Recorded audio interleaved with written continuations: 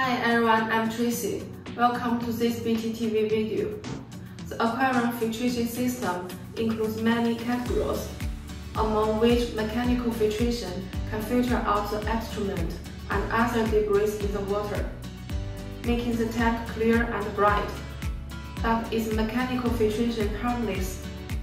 The filter material for mechanical filtration is filter cotton, wool felt, corrosion and attic with relatively dense pores, and the most common is filter cotton.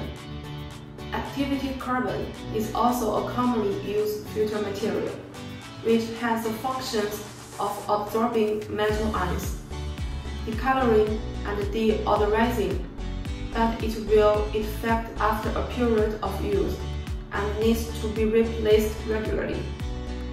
What are the disadvantages of aquarium mechanical filtration. The mechanically filtered water quality does not last long, and the water needs to be changed frequently. After all, no matter how fine the filter material is, it's impossible to completely remove debris in the water. Therefore, it's necessary to clean the fish tank on time.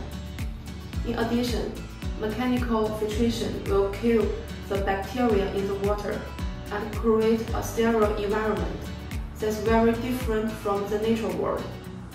But over time, the resistance of the fish will decrease. Okay, that's all of the content of this BTTV. Thank you for your interest in us in 2021.